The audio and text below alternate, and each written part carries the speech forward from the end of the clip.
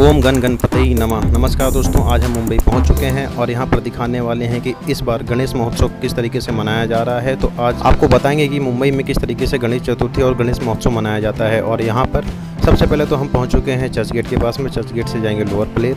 फिर लोअर प्लेयर से जाएँगे पैदल घूमते घूमते। सबसे पहले आपको दिखाएँगे दर्शन। आज हम मुंबई चा राजा के हैं। और इसके साथ साथ में दोस्तों हम आपको बताएँगे कि गणेश चतुर्थी क्यों मनाया जाता है और मुंबई में इतना फ़ेमस क्यों है और मुंबई में गणेश चतुर्थी की शुरुआत कहाँ से हुई थी और मुंबई में कौन कौन सी जगह हैं? जहाँ पर गणेश महोत्सव बहुत ज़ोरों शोरों से मनाया जा रहा है। तो बस दोस्तों आप बने रहिए हमारी इस वीडियो में लास्ट तक और जानिए सभी चीज़ों के बारे में और गणेश जी के दर्शन करिए, जो कि है मुंबई राजा। वहाँ पर आज हम जा रहे हैं, पैदल पैदल निकल चुके हैं। जैसे ही आप चर्च गेट से लोअर की तरफ़ पहुँचेंगे तो वहाँ से आपको लेफ़्ट हैंड की तरफ़ जाना है और रास्ते में हमें मिल जाते हैं फिर से एक गणेश भगवान जी। और यहाँ पर आप देख सकते हैं, गणेश भगवान जी की मूर्ति कितनी अच्छी बनाई गई, कितनी ऊँची बनाई गई है। तो गणपति पप्पा की जय हो। और अभी पहुँच गए हैं मुंबई चा राजा के पास में। यहाँ पर मुंबई चा राजा के नाम से यहाँ पर जो गणेश जी स्थापना की गई है, वो मुंबई चा राजा के नाम से जाने जाते हैं।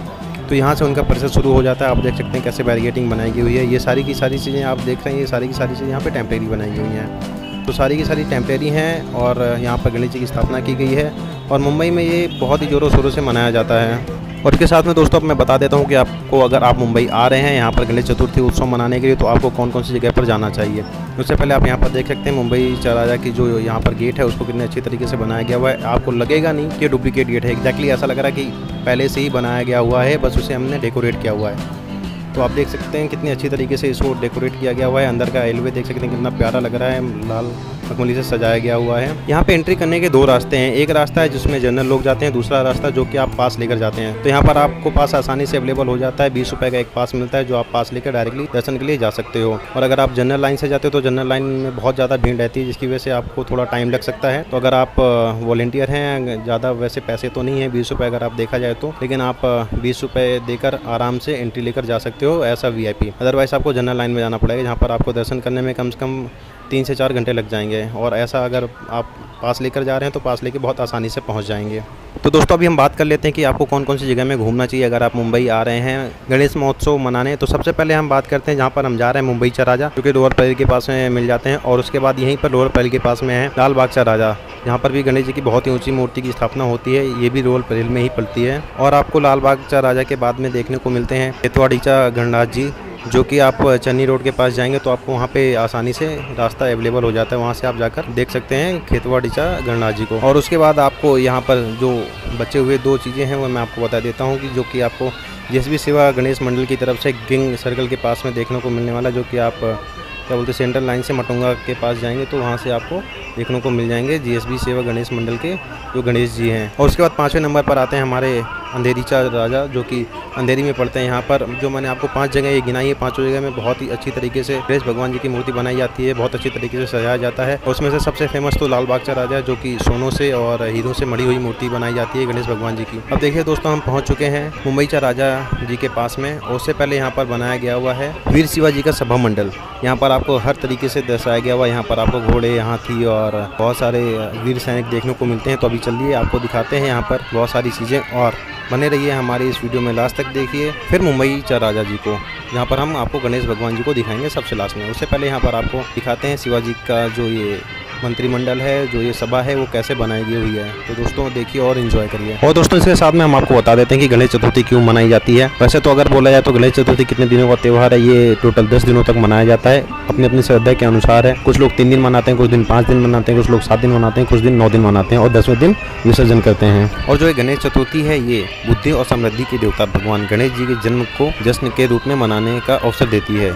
इसी दिन भगवान गणेश जी का जन्म हुआ था जो कि हम यहाँ पर बहुत ही जोरों शोरों से मनाते हैं और हमें लगता होगा कि ये हमारे लिए सिर्फ़ एक त्यौहार है, लेकिन ये मुंबई वासियों की तो इसमें जान बसती है। और इसीलिए गणेश चतुर्थी को जोरों शोरों से मुंबई में मनाया जाता है। यह एक यहाँ का बहुत ही प्रमुख त्यौहार है, जो कि सितंबर या फिर अगस्त के महीने में मनाया जाता है। तो यहाँ पर बहुत ही ज़्यादा भीड़ उमड़ती है, जैसे कि आप देख पा रहे हैं, यहाँ पर भी बहुत ज़्यादा भीड़ है। अभी आपको सामने की तरफ़ ले चलते हैं और दिखाते हैं शिवाजी का सभा मंडल और ये वैसे बता दें कि शिवाजी का सभा मंडल यहाँ पर क्यों बनाया है, इसके पीछे की एक कहानी है, जो कि मैं अभी आपको बताता हूँ।